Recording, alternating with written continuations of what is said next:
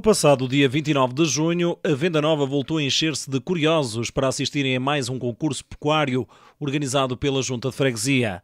Em desfile, 35 animais de raça barrosã, contudo, sem nenhum representante do Conselho. Todos os 35 animais vieram dos conselhos vizinhos. Domingos Moura, veterinário municipal, desafiou a população, como nos conta. Este concurso ocorreu muito bem. Foi mais uma edição. Eu fiz um desafio às pessoas para irem trajadas, digamos, de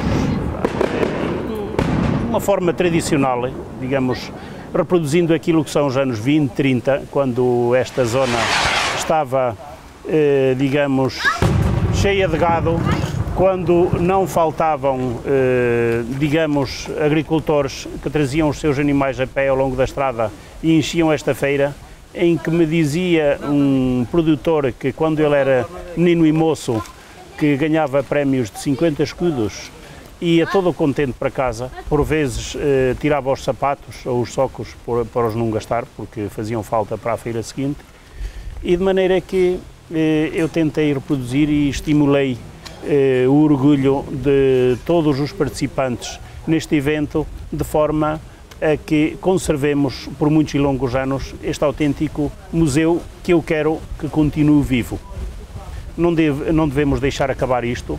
Foi de lamentar no Conselho de Montalegre não aparecesse um só exemplar. Ainda bem que os conselhos vizinhos, Cabeceiras, eh, Vieira e por aí fora apareceram eh, com os seus animais cheios de brio, cheios de orgulho e de que não se envergonham de eh, trazer aqui. Todos nós gostamos destas coisas, mas o que é preciso é trabalhar e fazer por elas. Não basta dizer é lindo, é lindo, mas todos temos de trabalhar em conjunto. Jorge Silva lembrou que o concurso pecuário da Venda Nova é um dos mais antigos do país. Até mais uma edição de, de, do concurso pecuário de raça barrosã, eh, possivelmente o, o, último que eu faço como presidente de junta. E pronto, isto é um concurso pecuário eh, de raça barrosã que, que é o mais velho, um dos mais velhos, ou talvez o mais velho do, do país. Do Conselho é seguramente o mais velho e, portanto, é um evento que se deve manter, na minha opinião.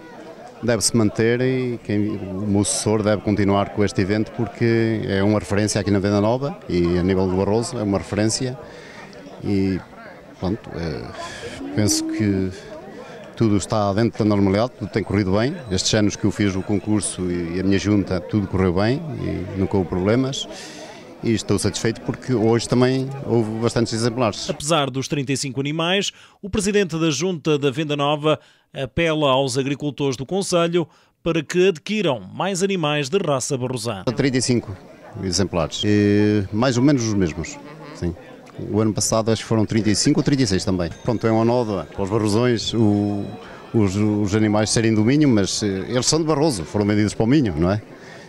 Porque a maior parte deles eram de Barroso e foram transferidos para o Minho, foram comprados pelo pessoal do Minho. Pronto, a situação no Conselho é esta e não, se, não é fácil mudá-la.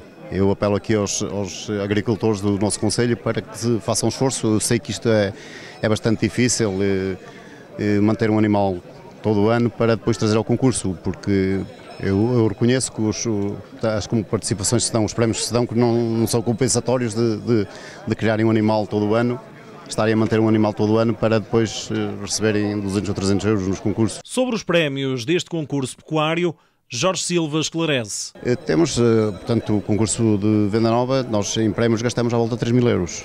E, portanto, o primeiro prémio são 80 euros e a taça, e depois vem por aí abaixo, vai descendo porque não se pode dar muito, porque senão ao fim a soma é muito grande. E as juntas, como sabem, as juntas eh, atualmente não têm grandes condições financeiras para subsidiar muito mais. Acrescenta ainda que o evento ao longo dos anos tem vindo a ganhar um novo folgo e está a cada ano melhor e mais concorrido. É, o balanço é positivo. Ao longo dos anos eh, eu estou satisfeito porque, pronto, penso que estes eventos têm, têm vindo. A, acho que até quando eu entrei para a ajuda estavam mais, mais fraquinhos um bocadinho agora tem vindo a aumentar.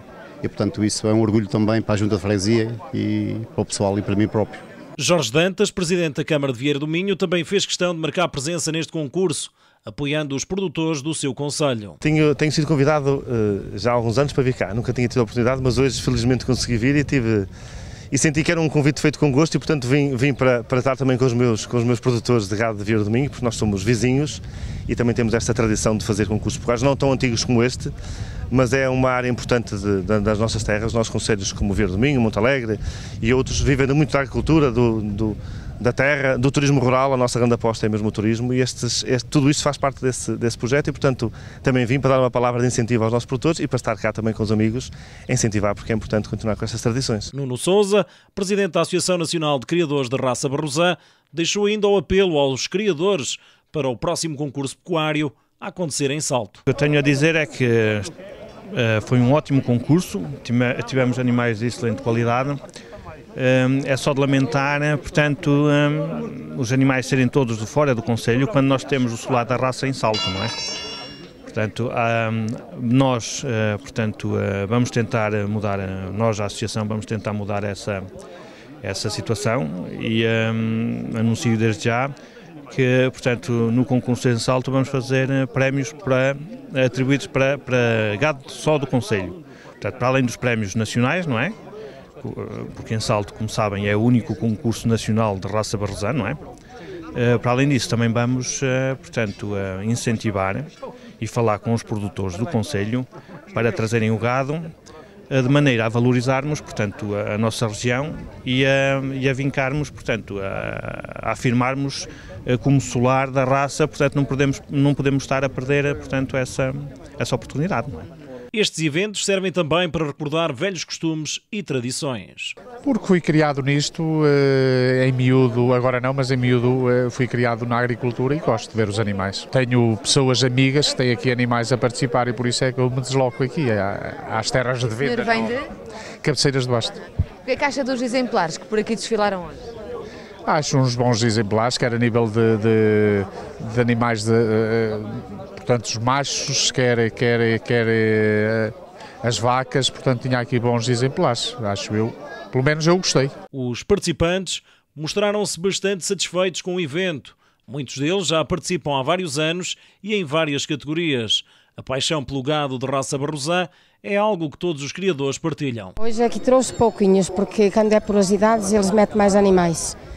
Há mais largueza para a gente trazer mais animais. Hoje só trouxe três, que só metia para, para três classes. Primeiro, mamotas uh, e primeiro dente.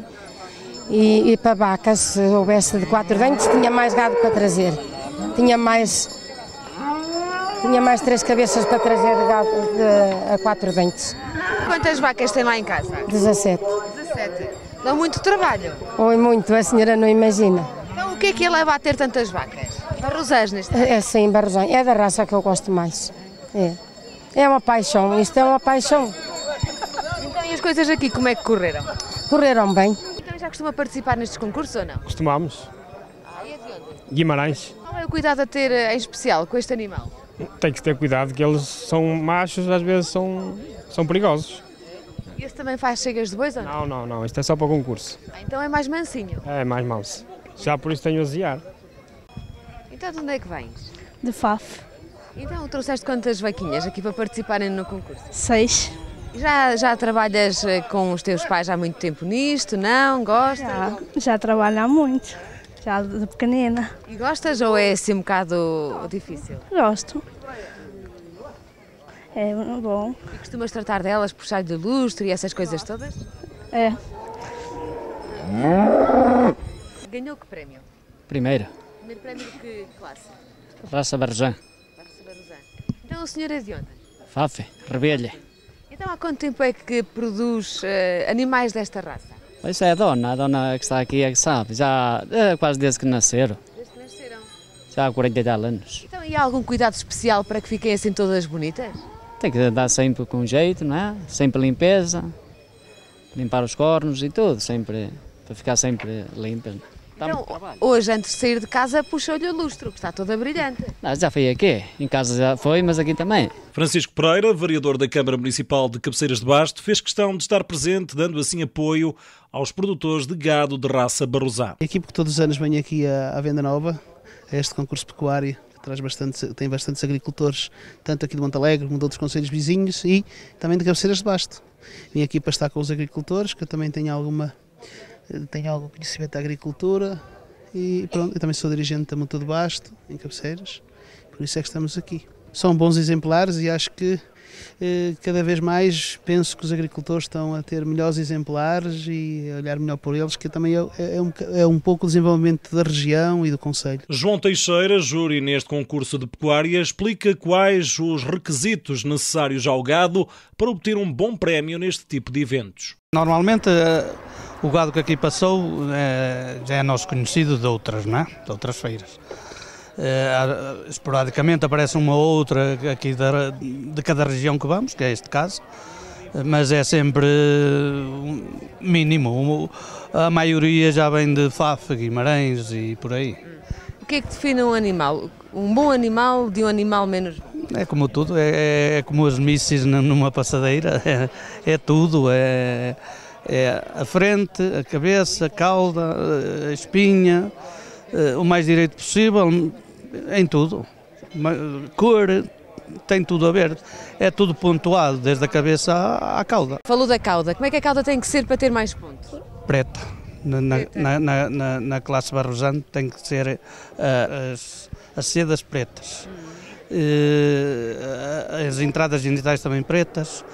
Uh, amare o mais amarelo possível. Elas são quase todas amarelas porque se pintam, não é? Mas isso é como também, como os mísseis podem ser de uma cor e depois aparentam outra. Uh, uh, a frente, uh, a cara que seja o, o focinho mais curto possível na, no barrosão, né? se fosse noutra classe já não era igual. No, os, os, cornos bem colocados, o máximo possível direitos, não um abaixo outro acima, não é? Bem, e isso se que não sejam cegas nem mancas, senão não podem ser primeiras. E primeiras só há uma, não é? Presente neste evento, em representação do município, esteve a variadora da Câmara Municipal de Montalegre, Fátima Fernandes. Ela que se mostrou bastante satisfeita com este concurso e relembrou que estes eventos marcam a nossa identidade enquanto povo de Barroso. Bem, estes eventos são de suma importância. Eh, em primeiro lugar pela sua antiguidade eh, e é de manter. Eh, eu lamento sinceramente é ver tanto gado que não é do Barroso, mas ainda bem que há alguém que preserva esta raça. Acho que os nossos produtores de gado, nem que fosse só por uma questão de identidade, de orgulho barrosão, deviam ter alguns animais da raça barrosã, porque são os animais fantásticos. Em primeiro lugar, a beleza, a imponência, foi os exemplares que vimos eh, são de uma beleza extrema. Eh, depois a qualidade da carne e são um símbolo eh, do nosso Conselho.